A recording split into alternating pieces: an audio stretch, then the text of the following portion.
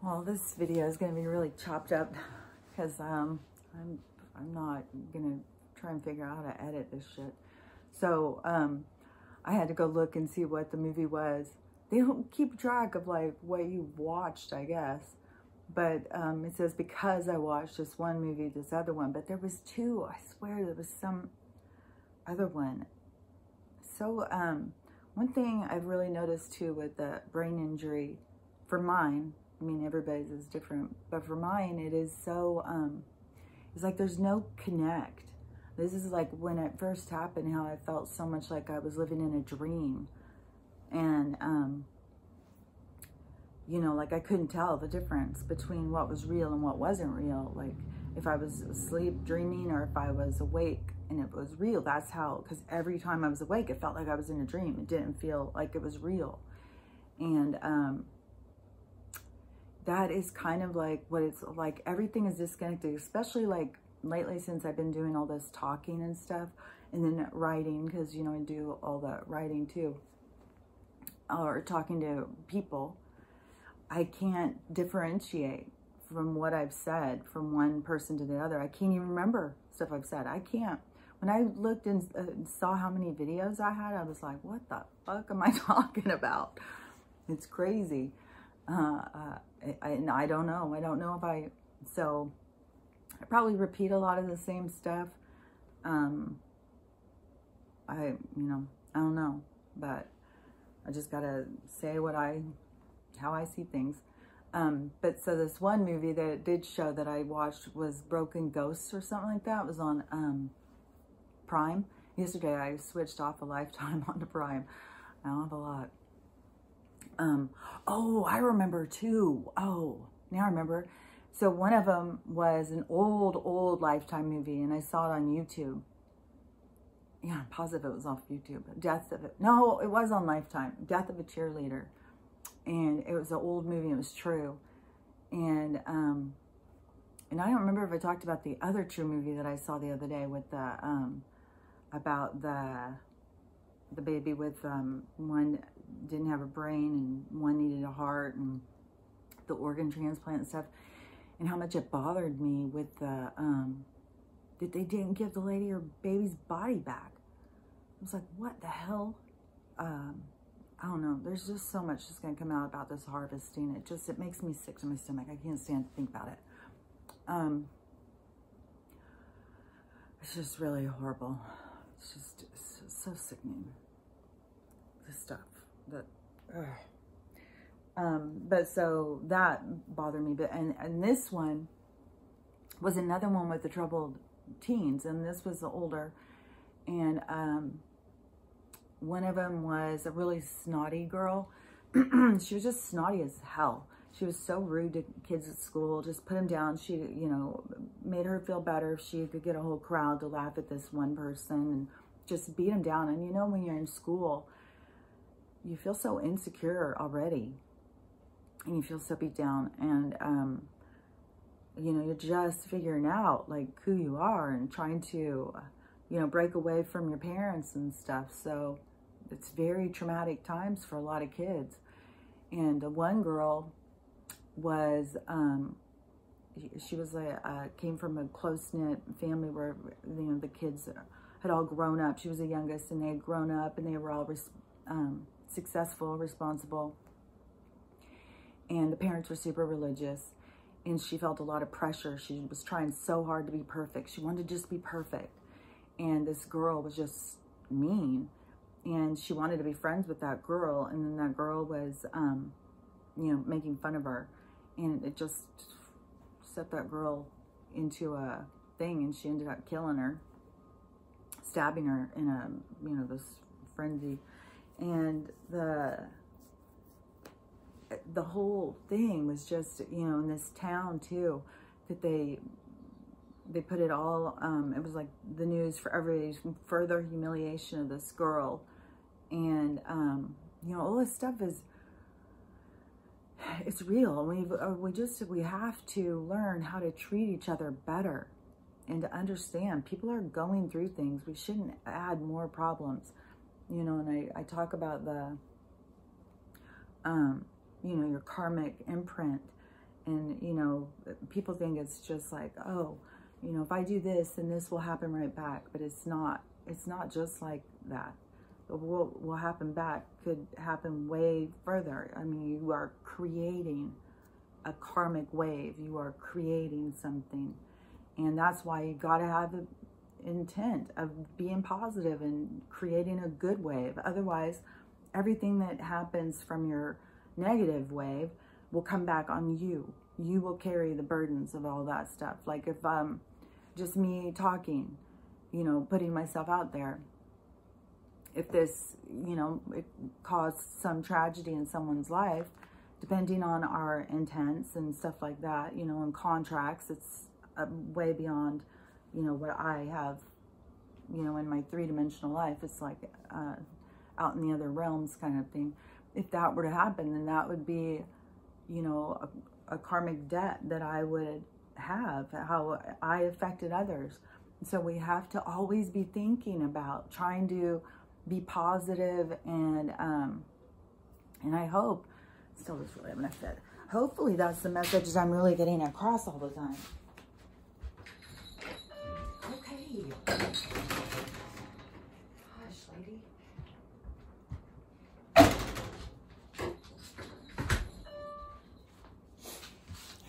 Oh, that was like, I don't know, she was maybe out 10 minutes. Um, but anyways, that's, you know, hopefully that people see that, you know, if somebody felt bad or wanted to harm themselves or harm somebody else, you know, then you, can email me. I'll talk to you. You know, if I'm willing to put myself out there, I'm willing to be a shoulder for somebody who's going through a hard time. So, you know, and these are hard times.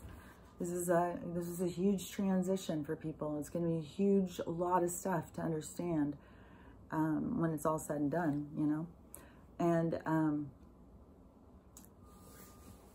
oh, so the other movie. See, I was about to get stuck again. I go off on these things. I was about to go like, what the fuck was that? I have to stop again because I don't like to just sit there and like think and think and think, even though it could only be like 60 seconds. Well, I had to look it up. It still, it starts making me feel pressured. Like, oh, and, and then it panics me more and I can't remember even more. Oh, sweetie, you're such a sweet baby.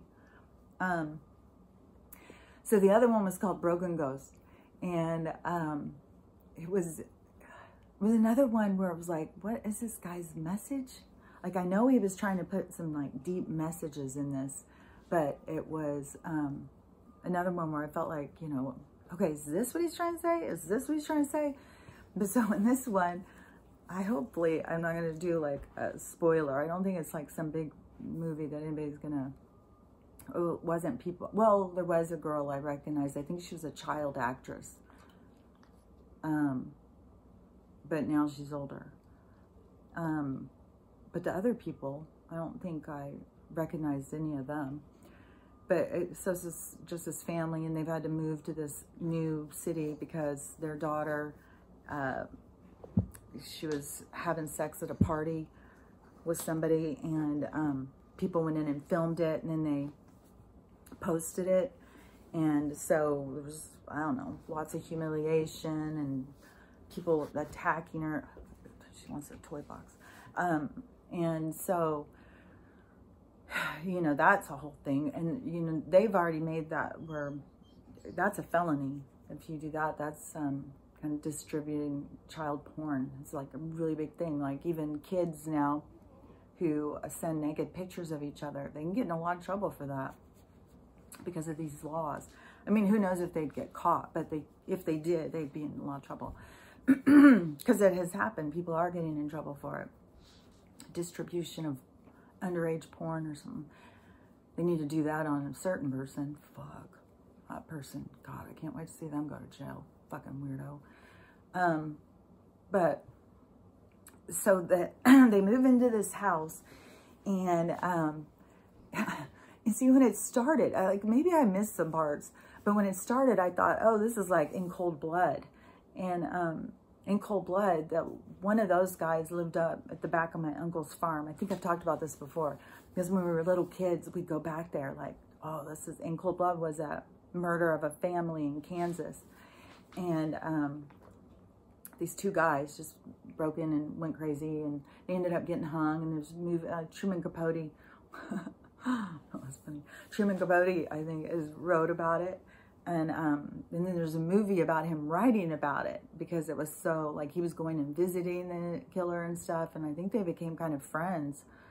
Um, he did with one of them. I think, oh, I can't remember. I think he was friends with the one that um, lived at the back of my uncle's farm. Because my uncle had all his acreage. And then way back um, in the fields was this little house. I don't know but this little house had this man and his dad living in it. And um, Sally, you knocked my table over. And um, I love you too. And so, anyways, in this one, it started out like mm -hmm. I mm-hmm. thought, oh, this is the same. They're just doing that story. But then the story went to that the, these people moved into this murder house. Only somehow the story got switched to the this dad who was the artist who was caring for his wife who had MS and their little girl, you know, went crazy and killed him. But in the beginning of the movie, it showed someone else coming to kill him. So it was like, what the fuck? But I am talking. Just a minute, please. Could you please have manners? I'm in the chair right now. You can have it. Oh my gosh. Stella, we can't both fit in the chair she just doesn't care. She just is like, I want in the chair. Okay, hurry up, please. I'm trying to talk here. Okay, I'm just going to keep on going. Oh, God. Go. Okay, scoot over. Okay, so um, the um, they were in there and all this stuff started happening and everybody's saying that the house is haunted and, you know, made sense. And I was thinking about, yeah, I mean, if you moved into a haunted house, that there had been this tragedy, this tragic murder, just think of the energy imprint there, that that, that would stay, the, um, the fear or the, whatever led up to it. Like there's, that has energy. It has its own energy. And, um, you'd have to do a lot of clearings and stuff. But, you know, I think most places, I mean, I think probably most houses are haunted and people just don't have the awareness. It's all about awareness. It is just being aware that there's something, you know, you put your keys there and now they're over there. I've had such weird things happen though. I mean, one of the times, um, my daughter, we were at I think, I'm sure I've talked about this house before. This house was one of the creepiest of the haunted houses that I've lived in. I've been in a lot of haunted houses, but this one was just so creepy. And I know this woman just wanted me dead. But um, she, um, and I could, I could sense her. I knew that she was there and I knew that she didn't like me. So it's just hog. She's always got to be just like right on me. Um, what was I going to say about that house? Let's see, now I'm, I can't keep thinking about it because then um, I'll just get, or I, I'll keep thinking and thinking and thinking and I'll get paranoid that I'm taking too long to think of it. Well, it'll come to me. Um, so in the movie though, the people um, were in there and all this stuff keeps happening and they are freaking out. And so then the mother and daughter are like, uh, we're leaving. We're not going to stay here. This house is, is too creepy. It's too haunted. And then it just, it took like this hard right.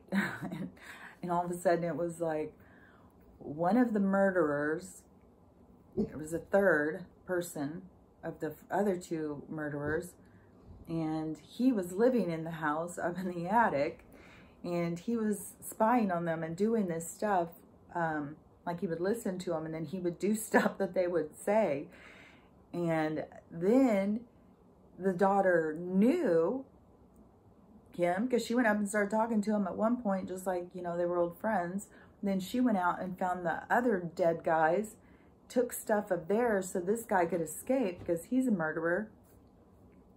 It was like, oh, this movie started out so good, and then it just went like, what the fuck?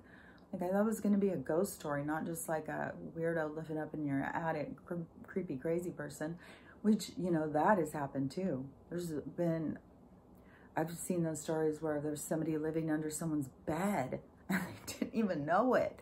When the police came, that they found um, so much stuff under this person's bed, and he had a knife under there.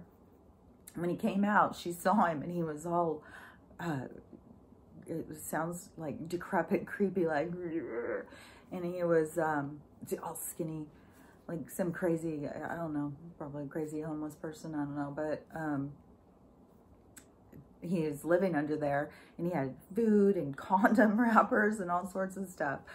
Oh, that just creeps me the fuck out. Like someone's like sleeping right under you and you don't even know. And then there's been the ones where there was um, the lady who was living, she was going through the cabinets up into a crawl space up in the house. And then when the people would leave, they caught it on the video. There's been a couple of these ones where it was caught on, they got nanny cams or something because shit kept being weird at their house. Things were moving, things were disappearing. So they put a nanny cam in and then they caught her. I've seen the video footage thing of her and she she creeps out of this cabinet above the fridge, I think, and then steps down. It's very like the ring or something. She's creepy as fuck. And she's in there drinking out of their milk right out of the jug. Ugh. God, that's gross. I gross milk grosses me out anyways, but drinking out of the jug things grosses me out, especially when I was in nursing school and they talked about the enzymes in your mouth and stuff. Like if you eat some yogurt and then you um, just put it back in and then you get it out later and it's got like that whole liquid. That liquid is the enzymes from your mouth breaking down the the stuff that's in there. just that really grosses me out for some reason. And so when people drink you know, out of the thing, the enzymes in the mouth, you don't have to spit in it. You just have, there's an enzyme, you know, transfer and it goes in there. And so the people who drink it, the jugs of milk or juice or whatever, and they put it back and then somebody else is drinking that person's spit because the enzymes go in there and start breaking it down. It's just like, ugh. I can't even, when I'm drinking, I can't even drink the last little bit of something. I just feel like it's all spit. so funny how we all have these like weird things about us, you know. Um, but the um, yeah, that movie just really it was going so good too. I was like all thinking about you know ghosts and the imprints and the energy and all that stuff, and then just that total twist. And I was like, oh, that sucks. Um, and then I was watching a bunch of um, trailers, you know, like a, a, whole bunch. And sometimes I'll just go in and I'll watch them and then I'll put them in my play, my watch list or whatever. Because, oh gosh, it's really hard sometimes to find something to watch. But so I, um, I feel like I'm really sitting weird now, leaning up on her. She's so sweet. Look at this cute little face. She's such a sweetie. Um, but um, oh God, drives me crazy when I forget what I'm to say. Ah, well, I mean, it's just so much, so much energy.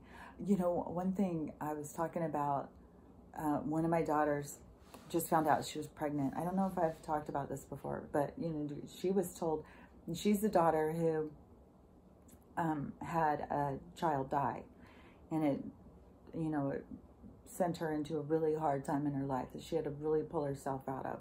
And it took years really um, very, um, what's that called? When you're just, you don't care what happens to you. You're just like you're on a suicide mission. Like, however it happens, I don't care. I just don't care about anything. I don't care about life. I don't care about anything. And, you know, you try and say, yeah, but what about your kids? And she just I think when you have a kid and um, dead that you can't take care of, and then you have your other ones, you just, you're so like, oh, but that baby, who's taking care of my baby? And, you know, we forget about souls are not really babies. Souls are really, you know, independent energy. Um, so, you know, she went through the hard time and then uh, it's ruined, ruined her first marriage. And then so she got in the second one. And then this was when a whole bunch of stuff was happening for her of her own personal growth. And then that was causing her to look at her relationship differently because it wasn't fulfilling for her. It wasn't, it just wasn't working. And, um, you know, she wasn't happy. She was just down. And so she had to bring herself to, in that relationship was really hard because this person she was with is somebody who needs a lot of um, care. And, it, you know, that has all of its own problems, you know. You know, you leave somebody who needs you, then, you know, are you abandoning them? Like, it's a lot of stuff that you have to go through in any relationship, you know, that you have to recognize the different um, particles of it. And so, you know, she felt she needed, but before when they were first together and they had, um, cause they were, they knew each other way back to high school. And, um, she had another child and then she wanted to have another one and they said she was in menopause and she couldn't anyways, now, you know, she's getting close to 40 and she, uh, she was seeing one guy after they had split up, but she had also had known for, jeez, she knew him for a long, long time. And then he died. And that was like another trauma for her. And then she started seeing somebody else. And then all of a sudden now she's pregnant and she wasn't supposed to be able to get pregnant again, especially after all these years when they told her she was already in menopause. So that is like a miracle. And, you know, a lot of people, then they could go, well, this isn't going to work for me right now. I can't do this. But I really feel like when something is given to you, like I was not expecting to ever get pregnant. And when I did, it changed my whole life. Like it gave me um, something to hold on to. So I wasn't so self-destructive. And because I was pretty self-destructive when I was young. I was really, uh, you know, I was kind of a mess. I mean, there wasn't, I can't think of probably there wasn't a drug I didn't try. I didn't stay doing any of them, but every party you went to, well, Quaaludes did do a lot of Quaaludes. I didn't even know that they were horse tranquilizers at the time. I was like, Quaaludes, hell yeah. That was a very 70s kind of thing. But, but yeah, back then, I was just a mess. I could have cared less what happened to me. And then once I had kids, then it was like, oh, I have a reason to take care of myself. I have a reason to be alive. I have these little person that I have to take care of. And, um, you know, so it was really good for me in my life. And I think it is for a lot of people. And a lot of people, you know, there's so much stuff going on about uh, women's rights and stuff like that. And I just say, I feel like so much of it is just all this agenda, especially if you think about, you know, the harvesting and stuff like that. I don't know. I, I just think there's going to be so many things that we're going to relook at and just, uh, there's going to be so many changes coming up in our future. And, you know, I'm really excited um, for all the stuff that's coming. I, I, I mean, we're, we're so close. So close. And once, once it starts happening, it's just going to go boom, boom, boom, boom. And then, you know, we're just going to be a, a totally totally different world. so it's, it's really exciting. And that is one thing too is, um, you know, I was talking about yesterday is that, um, you know, I feel like I can see the future. I can't see, you know, they don't show me all the little details. Because even if, even if you do see them, they can switch because just like uh, what I was talking about, you know, you, you, your life is predestined. You, you decide, you, you choose the template, you know, that you are going to go and, um, but then once you have the template, you're also handed uh, the paintbrushes. You you are going to create what the what you are going to make this template into, and um, so when you are um, you know living your life, you know like I had said before, it doesn't matter you know which job you go or which way on the crossroads because they're all going to be ultimately the same. They're all going to have lessons that you're going to have to deal with. And, um, you know, when you're on the right track, I think that you will feel excited about it. You'll feel like, you know, this is great. But you also have to realize that sometimes there's still lessons in the right track. There can still be things that are going to happen, but it's all for some other thing that you don't know about yet. So when you are, um, so I do it all the time. I'm in the middle of a fucking sentence and it just all of a sudden it just goes black. um, well, anyways, you, you know that there there is a template that you um, have like you, you you will start here you will end here and what you do in between you will have certain lessons and the lessons will come in different ways depending on how you go but that it still is going to be you know ultimately the same ending no matter what like and you have an expiration date from the time you start you know it all has to be done in this amount of time and there is ways, you know, I mean, people kill themselves. And some people kill themselves and, you know, that just messes up a lot of contracts and it can cause a flurry of, you know, that, that right there, you can um, create a karmic wave that, excuse me, I'm getting your way. No, you're not going back out. Let me just finish this, okay? that you can create uh, a karmic wave by killing yourself. But you can also have a suicide be in your plan.